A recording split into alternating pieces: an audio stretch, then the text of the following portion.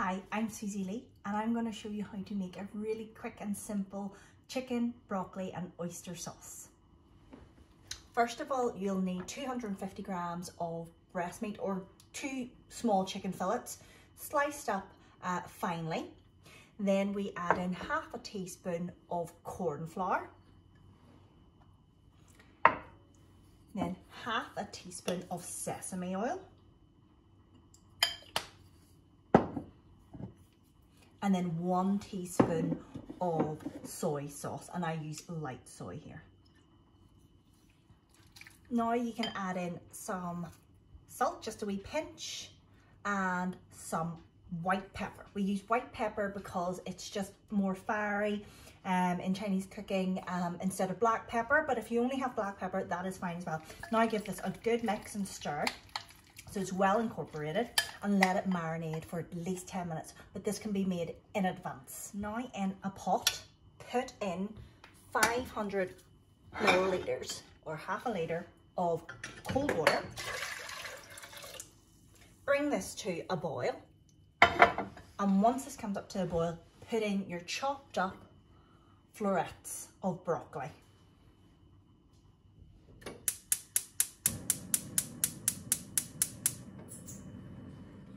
with the broccoli, we are not going to throw out um, the water that it has been cooking in when we have drained the broccoli.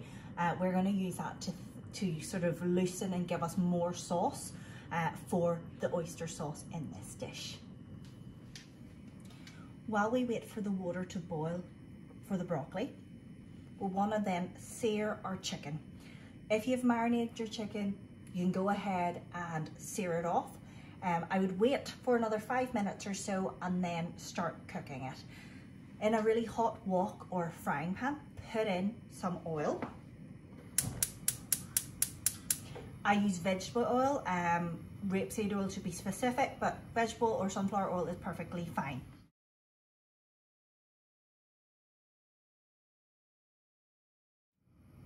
Wait for it to get nice and hot. And I would fry off the chicken in two batches. Okay, nice and hot here.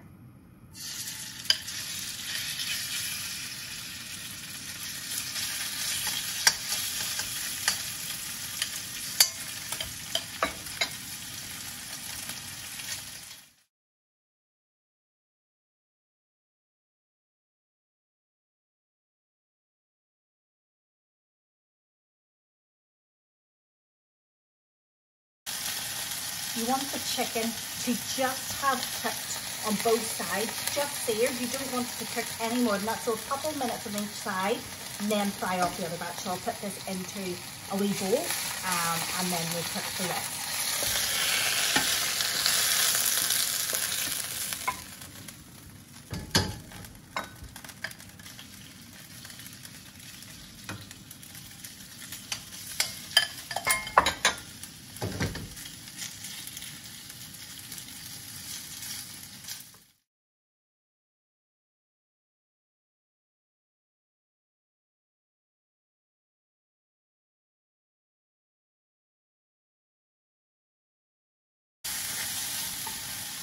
Now that that's been fried off, pour the rest into a bowl.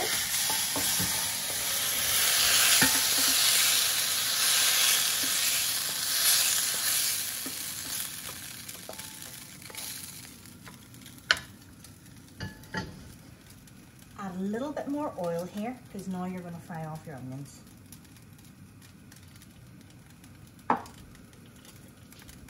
So one small onion finely sliced.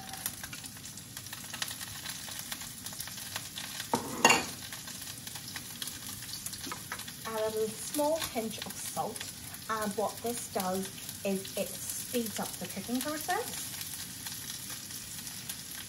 and a little bit of water. So I'm going to steal a little bit of water from the pot or the broccoli.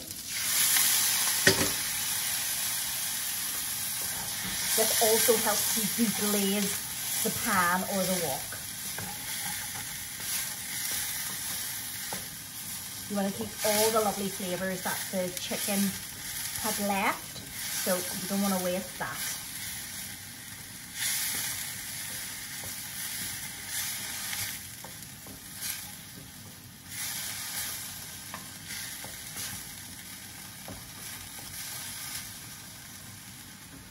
The pot is now coming to a boil. Add in your broccoli and we just want to bring it up to a boil for about three minutes to five minutes maximum. You don't want the broccoli to be soggy. If you like them soft, then obviously cook them further, but I like them still kind of just, just that it's cooked, but it's going to cook even further in the sauce when you're finishing off this dish.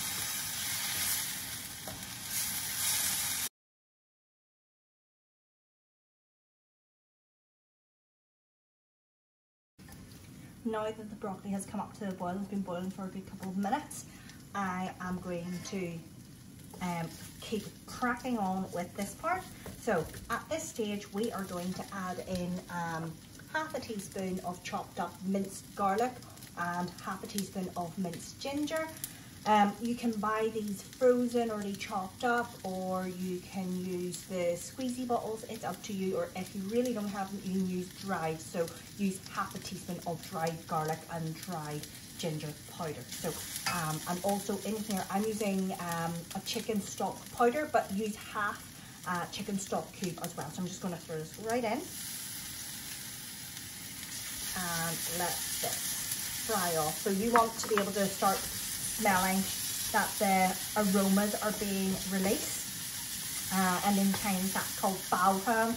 So you can smell that the ginger and the garlic are starting to fry off and just putting in that half a stock cube um, of chicken uh, stock cube just gives it an extra boost of flavour as well. So fry that off. And I can already smell because my wok is so hot that this is really, really starting to get very flavoursome.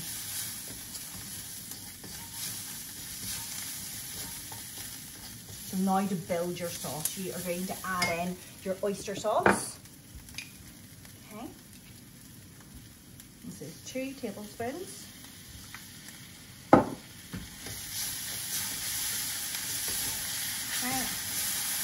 And here I am going to add in some of my liquid from the broccoli. Don't waste it. All the goodness of the broccoli is in here. So just keep it and fry this all off. Okay, and let this bubble away um, and your, this is the base of your sauce. Okay. At this stage, you can see it's quite watery, um, so therefore I want to make it slightly thicker. So in Chinese cooking, we use a corn flour paste, and what this is is just cold water and corn flour or uh, corn starch. You mix it up so it turns into this kind of murky, milky water. I bring this up to a boil, roaring boil, and you add in a couple of teaspoons and you'll see instantaneously it will thicken. Okay, so you add as much or as little as you want. Okay, so that's got quite thick now. Now I add back in the chicken. Let this cook through. Make sure you get all the lovely juices in.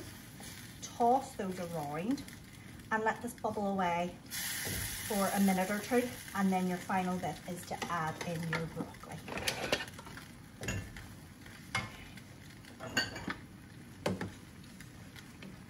Okay. As you can see, I have also used the stalks. I love those. It's super crunchy and we're not wasting any of the broccoli. So everything goes in.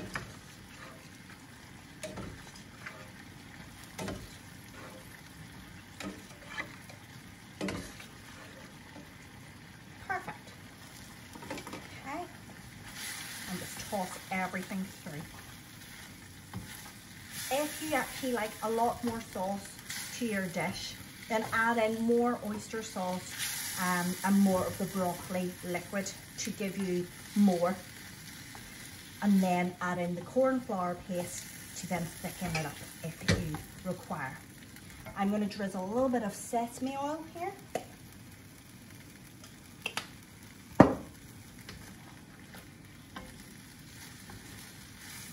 And then at this stage, I am going to give this a little bit of a taste.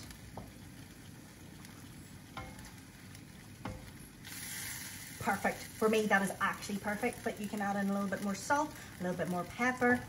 it is up to you. You taste it and see what you think. You may want more oyster sauce if you want it stronger or a bit of soy. But there you go. It is as simple as that. And my sauce has got a little bit more watery. So at this stage I could add more corn flour paste, but I'm actually happy with this uh, because I can then toss it through my bowl of rice and it'll be super, super tasty. And that's it, as simple as that. And you can garnish it with some spring onions if you want. Um, and this is my simple way. Some scissors and just cut on the diagonal. And this just gives it just some extra color. But if you don't have spring onions, you don't have to use them, but it just gives it um, just good color and also just a different texture to your dish. That's it. Toss them through. Ready to serve. As you can see, that was a simple recipe to make. You can make it with different vegetables, different meats. Um, it is that simple. Just a couple of minutes if you had everything prepped, ready to go. And that's it, a lovely, healthy dish um, for the family. Enjoy.